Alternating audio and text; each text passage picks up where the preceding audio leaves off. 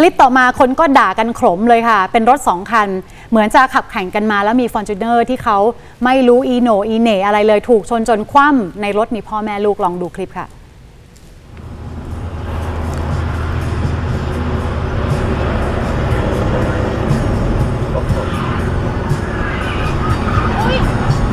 ชอบเด็กทันไหมอะทานทานทานทาน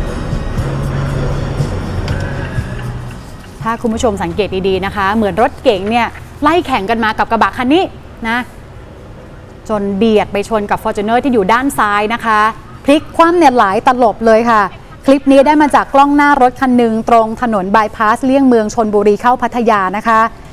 Fortuner เสียหลักพลิกคว่ำหมุนหลายตลบกลางถนนเลยหงายท้องล้อชี้ฟ้า หลังคายุบกระจกแตก ข้างในพ่อแม่ลูกตัวเล็กๆนะคะ คนขับ f o r t u n e r คือคุณสุวิจักอายุ 49 ทั้ง 3 คนก็ได้รับบาดเจ็บเล็กน้อย ส่วนคนขับรถเก๋งรายนี้นายสุทธิศักดิ์อายุ 28 ยังอยู่ในอาการมึนงงนะบอกว่าขับรถมาตามปกติพยายามจะแซงซ้าย แต่แซงไม่พ้น ก็เลยหักออกแล้วก็ไปชนท้าย f o r t u n e r แบบนี้ ลองฟังเสียงคนขับรถเก๋งดูนะคะ พอดีผม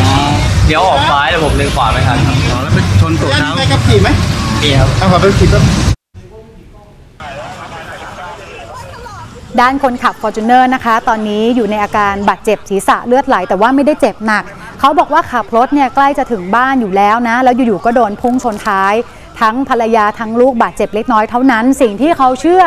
ก็คือปาฏิหาริย์บารมีหลวงปู่ทิมค่ะ ซึ่งเป็นพระหลวงปู่ทิมผงพรายกุมารทุกคนในครอบครัวแขวนกันหมด เชื่อว่าทำให้แคล้วคลาดปลอดภัยจากอุบัติเหตุครั้งนี้ค่ะ ถามนี่พี่พี่มาจากไหนครับเนี่ย มาข้ามมาจากจากไปพัดมาฮะมาจากดีจ้าแหละข้ามมาฝั่งนี้ จะไปไหนครับ จะเข้าบ้านผมจะเข้าบ้าน